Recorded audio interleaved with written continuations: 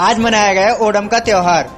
राष्ट्रपति रामनाथ कोविंद व प्रधानमंत्री नरेंद्र मोदी ने ओणम पर्व की दी बधाई। Aryabhat कॉलेज, अजमेर का best college A grade ranking by BTU Bikaner. Best infrastructure of fashion and interior design hitech computer lab modern hotel management block skill based learning excellent sports facility up to rupees thirty thousand covid special scholarship free bus facility for girls admission open BCA BBA fashion design interior design and hotel management now at new campus opposite Ryan school Maharana Pratap Nagar Kotra Ajmer Onam Kerala का प्रमुख त्योहार है। यह उत्सव राजा महाबली के स्वागत में प्रतिवर्ष मनाया जाता है जो 10 दिनों तक चलता है।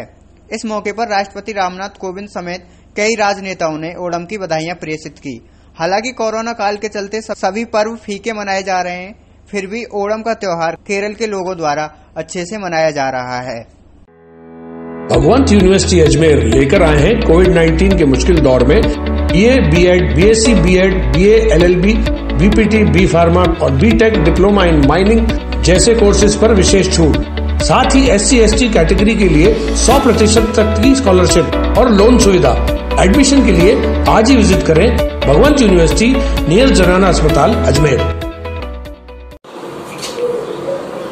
सबको हैप्पी ओणम तो हमारा केरल का त्यौहार है आज ओणम ओणम सब जगह केरल में फूल और सब डाल के बनाते हैं। और अच्छी तरह अच्छा अच्छा खाना भी बनाते हैं। और उसके अलावा कोरोना की वजह से मेरे को घर नहीं जाना नहीं पड़ा।